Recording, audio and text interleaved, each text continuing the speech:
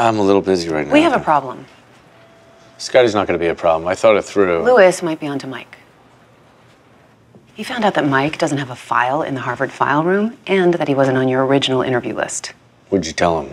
Well, I handled the list. What about the other? What could I tell him? I mean, I told him if he was so curious, he could order a copy of Mike's transcript. Then we don't have a problem. Well, don't you think maybe we should do something else? Anything else is just going to make him more suspicious. Are you sure? Yeah, I'm sure. Okay.